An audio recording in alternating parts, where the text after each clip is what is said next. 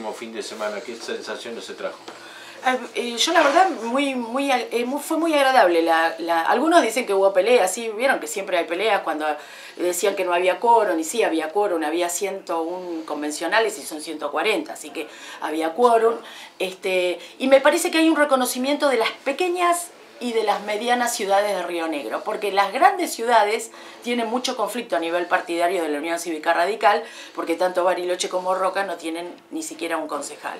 Entonces, me parece que ahí, eh, me parece que nos estamos, estamos dando vuelta el tema y mirando más a los pueblos que hoy, eh, los pueblos del, del Valle Medio, del, de, de, bueno, de acá en el, en el caso de la línea sur, que tienen concejales, tienen revisores de cuenta, de la Unión Cívica Radical, bueno, en el caso andino también, eh, solamente Bolsón, porque Bariloche no tiene, y me parece que estuvo muy bueno eso porque eh, vieron cómo es, eh, este, las grandes ciudades siempre manejaron la, la, convención, y me parece que en este caso, y hay una cosa muy importante, que la posición de los convencionales en la voz de Maximiliano Albonacid, hizo de que no se tratara la modificación de la representación de los convencionales en, en, el, en la institución más importante del partido, que es la convención del eh, provincial. Es decir, se quería bajar el número de convencionales representando de los pueblos de acuerdo a la cantidad de afiliados y la posición de Almonacid y de los eh, convencionales que fueron Roque Benquevicius, eh, Oscar Romera y Miguel Whisky, este, dieron vuelta a esa y lo pasaron a, a comisión. Así que me pareció muy importante la posición de Bolsón este, en ese tema. Porque si no nos querían sacar convencionales. Y los que más íbamos a padecer éramos los chicos y los medianos. Eh, en su oficina vemos un, dibujo de Arturo Ilia, vemos una foto de eh, Raúl Alfonsín con, con, su esposo, hace años me imagino fue cuando vino Viedma quizás, luego Alfonsín y usted y, en otra foto mucho más, con Chironi mucho más actualizada tiene historia en el radicalismo Cecilia Gori.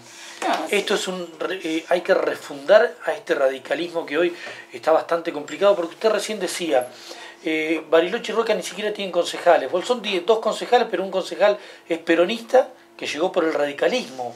Cuando esto hace 20 años atrás Alfonsín quisiera ni lo hubiese mencionado. Eh, ¿Hay que refundar al radicalismo? No, yo creo que no es tan así porque no es una, una, una obra tan porque refundar algo es, me parece que no. Yo, no, pero llegar a tener de, dos concejales, tener un, un, concejal peronista que haya entrado con el sello radical. Sí, sí, bueno, son Hay algo que no está bien. Son momentos, son decisiones de, de esos momentos y también se logró de que se hiciera una buena elección, ¿no es cierto? Porque vamos a reconocer que tanto el Unidos, eh, Unidos por Río Negro como Frente para la Victoria y radicalismo prácticamente hubo un triple empate. Es decir, también hay que reconocer que esa decisión de ese momento de poner a un ex afiliado, porque creo que no es más afiliado al, justicialismo porque lo es Corteo y se dice justicialista. Claro, sí, sí, pero bueno, el problema es que él tuvo un conflicto y su partido lo desafilió, ¿no? Eh, este, eh, yo digo, bueno, me parece que la figura de Daniel en su momento aportó para que el radicalismo hoy pudiera este, estar en vigencia también. ¿Tuvieron que necesitar un peronista para poder tener vigencia? Nosotros siempre fuimos muy abiertos. Acuérdense, el gobierno de Saiz eh, y todos los gobiernos radicales siempre tuvieron, estuvieron acompañados por afiliados de otros partidos. Bueno, hablando de apertura, eh, se habla bastante en los últimos tiempos de un posible acercamiento de referentes del radicalismo a la figura de Beretinec como para conformar un solo frente en el próximo turno electoral. ¿Esto se charló en la convención? Eh, ¿Lo ve bien usted? No, eso no se charló. Eh, fue un tema, fue muy largo los temas de la reforma de la Carta Orgánica, así que, y el, el que conseguir el quórum y todo eso, y este, que no se charló hay mucha discusión con eso, con el PRO, con Cambiemos, con Beretinec, pero sí lo que se ve, que lo, siento yo acá, es que yo como radical me siento este, muy cerca de, este, del gobierno de Unidos por Río Negro, en donde estamos trabajando juntos sin perder mi identidad, porque a mí nadie me pidió que me desafiliara y jamás lo haría tampoco, eh, sin, sin perder la identidad y sabiendo de que el gobierno de Beretinec también eh, tiene la ayuda de muchos funcionarios que son de extracción radical. hay analistas que esto lo analizan como dicen, eh, naturalmente esto en el Consejo Deliberante del Bolsón se da. Los radicales van para un lado, los peronistas para el otro. ¿Lo siente igual? Eh, no, yo en este consejo veo un consejo que trabaja, un consejo armónico, eh, un consejo que... Pero no me va a negar que las votaciones... El 80, eh, Fernando, el 80% de las, más del 80% de las ordenanzas se votan por unanimidad. Hay ordenanzas que, bueno, que fueron discutidas y se acepta, pero esto es la democracia, es decir, se gana por mayoría. son de forma, sesiones de tierra. pero acá se aumentó, pero, escúchame, acá hubo cambios, acá hubo cambios en la tarifaria, el presupuesto, son eh, contundentes esas ordenanzas. ¿Y se votaron por unanimidad? Se votaron por unanimidad. Pero cuando hay discusión siempre hay tres votos, el de Escandizo, Cortés y Monsalve, que van para un lado. Bueno, pero cada uno tiene que ir buscando su perfil también, es decir, tampoco eh, este, yo este, eh, me parece que está bien y lo reconozco y lo, respeto la posición de los concejales que votan eh, contrario a, a, eso, pero también reconozco que lo importante es reconocer a la mayoría y la democracia es mayoría.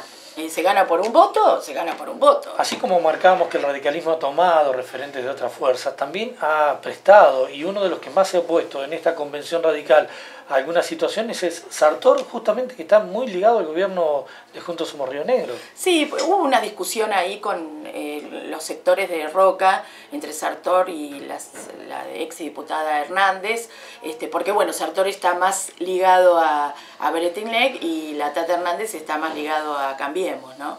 Y bueno, pero es un problema de ellos interno, que en realidad no tiene que afectar a la convención, porque si no nos dejamos involucrar en cuestiones que tienen que ver con el internismo de las ciudades. Nosotros, más allá, lo dijo, lo dijo Almonacid, que estuvo muy bien, más allá de que nosotros internamente tenemos, eh, algunas veces hemos tenido desencuentros con Romera, con Almonacid, con Almirón, que, nosotros fuimos a la convención y fuimos con un mandato con un mandato juntos de que no se debía modificar, por ejemplo, no se, debía, no se debía modificar el tema de la, del número de los convencionales. Y otra cosa muy importante que se cambió es la desafiliación automática a todo aquel que eh, aparezca en listas de otros partidos que no hayan sido aprobados por la convención. ¿Qué pasa con la figura del Mirón, que usted recién la nombra? No lo hemos visto más, no, no resalta más. ¿Qué está pasando con el Mirón? No, Alberto, Alberto es el presidente del partido. Hasta ahora, hasta septiembre, que se van a, eh, que se van a, no sé si él se va a volver a presentar, eh, se van a volver a, este, a modificar las, se va a hacer, se va a unificar todas las elecciones de las autoridades de todos los partidos de Río Negro, de todo, perdón, de todas las eh, comités de Río Negro y en, en diciembre asumirían las nuevas autoridades. Si Alberto se quiere presentar. Él no está dentro de esa desafiliación automática, porque es posterior. Correcto, muchas gracias. ¿eh? Nada de nada. La palabra de la